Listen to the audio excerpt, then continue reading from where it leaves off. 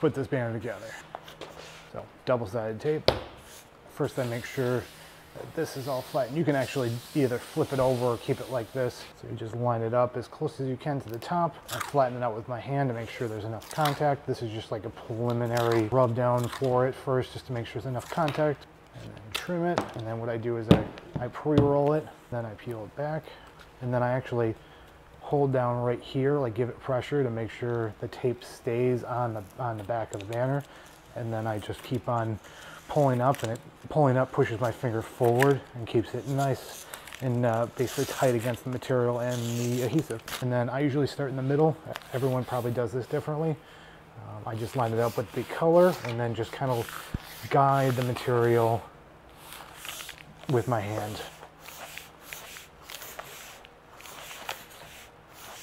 And obviously this takes a good amount of time to go that fast. I mean, I can go much faster when the camera's not on my face, but, and then you just take the roller and go all the way through it. And then to get to the other side, I just simply go like this, spin it.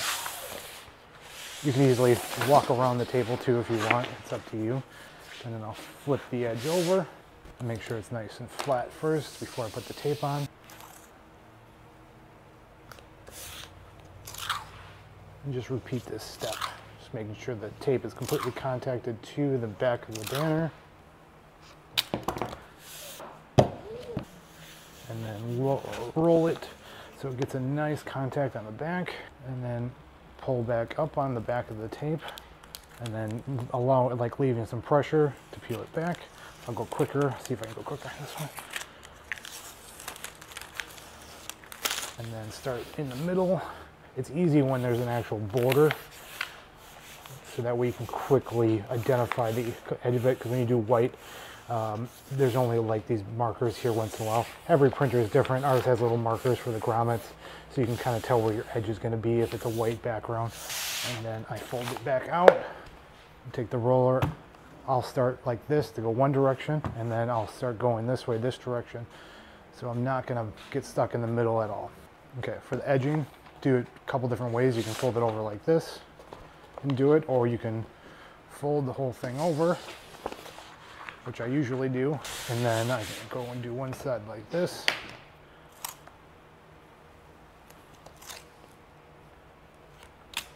And this one I'm not going to pre-roll because it's a little shorter.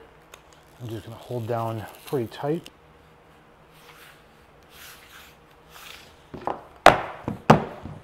To get the other side, I just flip the whole print over.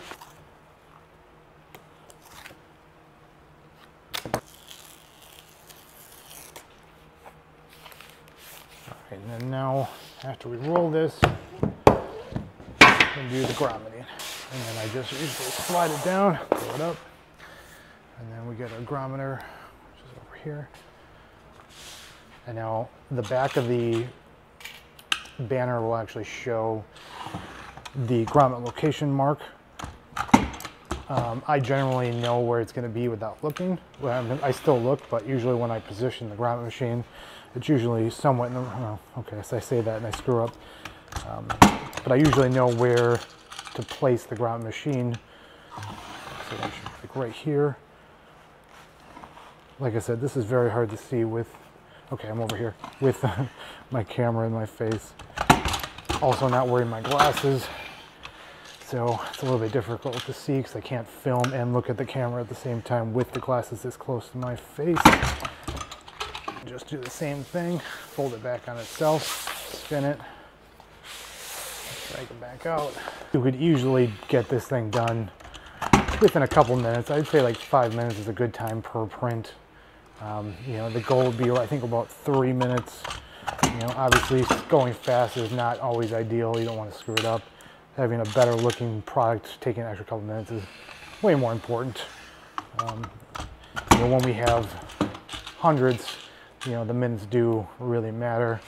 So if we have like a 500 order, depending on the size, you got to keep those minutes at a certain time. And then you can always roll this up real loosely. And that's how we make a vinyl banner. Thank you so much for joining me.